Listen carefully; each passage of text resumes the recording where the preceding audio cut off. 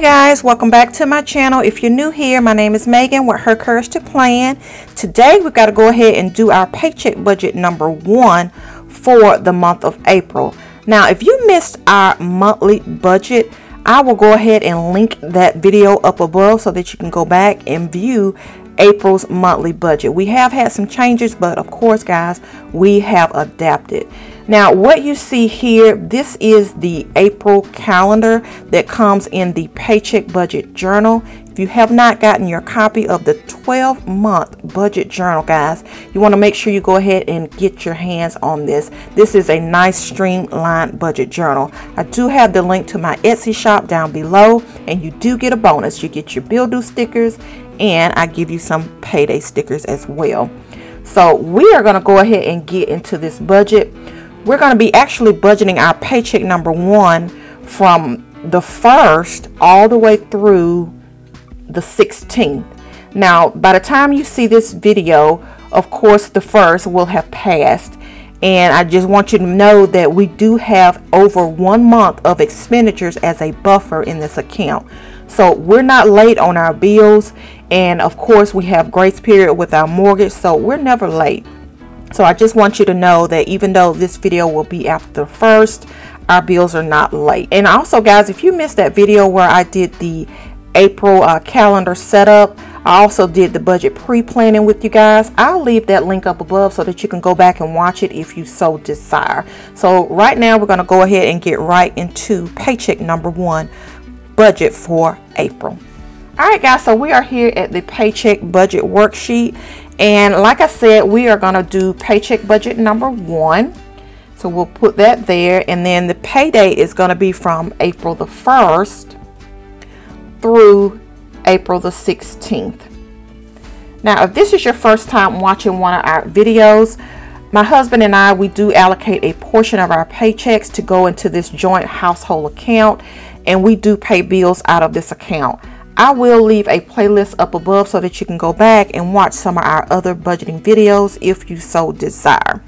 So right now for paycheck number one, Hubs, we are expecting 1402 to be deposited in this account. That's what's planned. And then for me, we're expecting $700. And then of course, we are gonna go ahead and account for the rollover in this paycheck. So we'll say rollover and that is from March. And it is the 259.52. Now we do use the EveryDollar Budget app, so I always refer to that when I'm doing our budgets. All right, so let's go ahead and total this income. We're at 1402 plus 700 plus 259.52. So 2361.52 is what's planned for paycheck budget number one. All right, and then for the giving, tithe and offering. We're planning 442. All right, and then for expenses, we've got the mortgage at 502. Now I'm going to go ahead and speed this video along so I can plug in these numbers and then we've got to work out what we're going to do as far as um, our savings if we're going to even do anything as far as debt out of this paycheck so I will see you back in a bit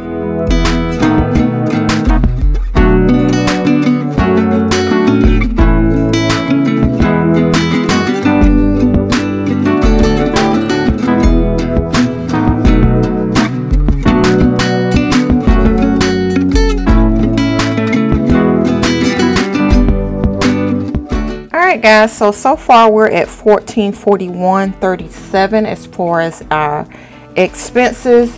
So what I'm gonna do is get a sticky note and let's go ahead and just write this down. So our expenses without the buffer is 1441.37 all right so let's go ahead and plug in down here the income, which is at 2361.52, and then the giving planned at 442.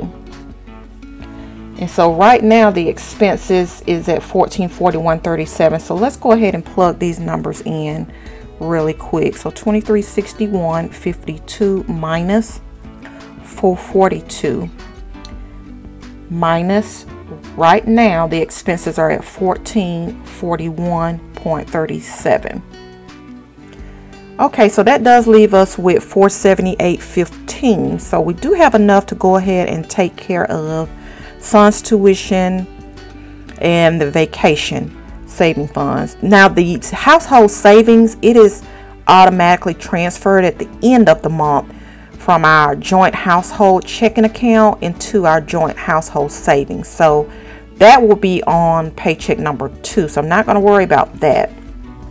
So if we have 478.15 left, and of course that's without a buffer, let me go ahead and plug in son's tuition at $150. So we'll subtract $150 from that and that leaves us with 328.15 so I can go ahead and take off the vacation as well. And then that'll be $100 so we'll subtract 100 from that. And then that leaves us with 228.15 for paycheck number one. So I do know that our buffer is let's see let's go back. Our buffer for the month of April.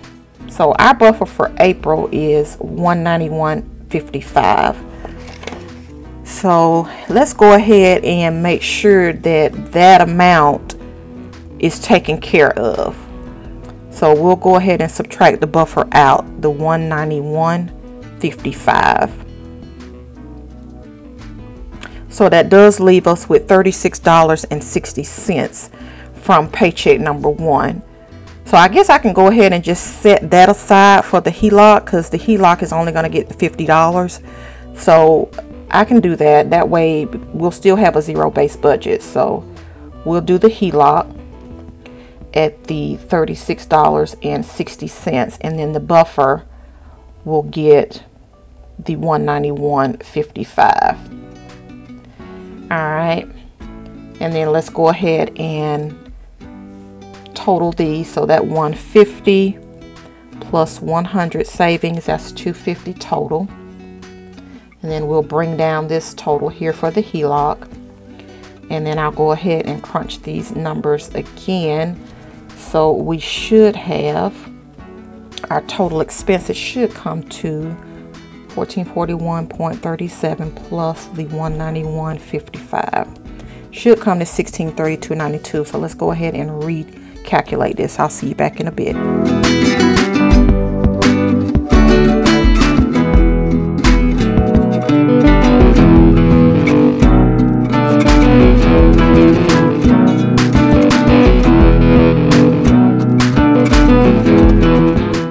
guys so the total came to the 1632.92 so I'll go ahead and plug that in. And I'll go ahead and put in the expenses down here. So it's the 1632.92 and then the savings 250 and then the extra debt is at 3660 so we still should get a zero base budget. So let's do one more calculation down here. So we've got the 2361.52 minus 442 minus 1632.92 minus 250 and minus 3660. That's a zero base budget, guys. All right, so this is what we're looking at for our paycheck budget number one, guys. If you have any questions, leave me a comment down below.